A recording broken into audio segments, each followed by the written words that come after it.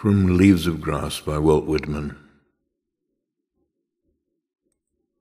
A child said, What is grass? fetching it to me with full hands.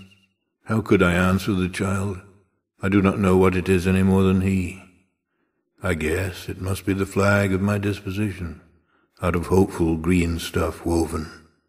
Or I guess it is the handkerchief of the Lord, a scented gift in remembrancer, designedly dropped bearing the owner's name some way in the corners that we may see and remark and say, whose?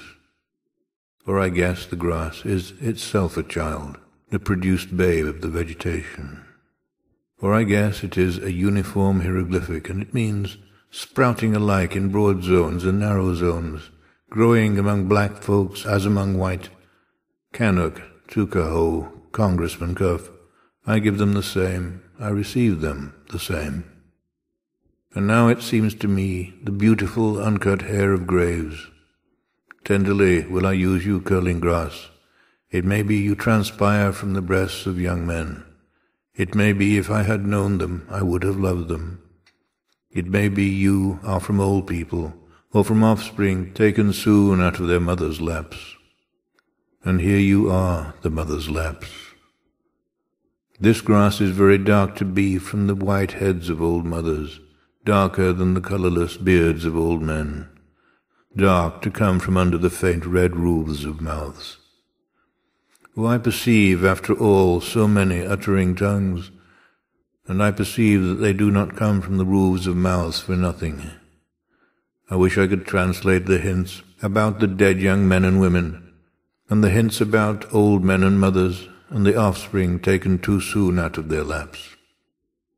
What do you think have become of the young and old men? What do you think have become of the women and children? They are alive and well somewhere. The smallest sprout shows that there is really no death. And if ever there was, it led forward life, and it does not wait at the end to arrest it, and ceased the moment life appeared. All goes onward and outward.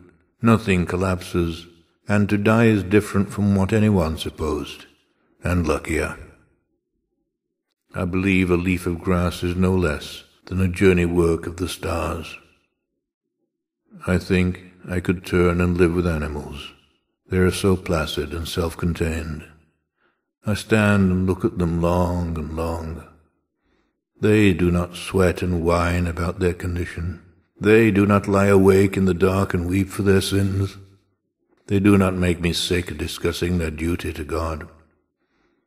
Not one is dissatisfied, not one is demented with the mania of owning things. Not one kneels to another, nor to his kind that lived thousands of years ago. Not one is respectable or unhappy over the earth.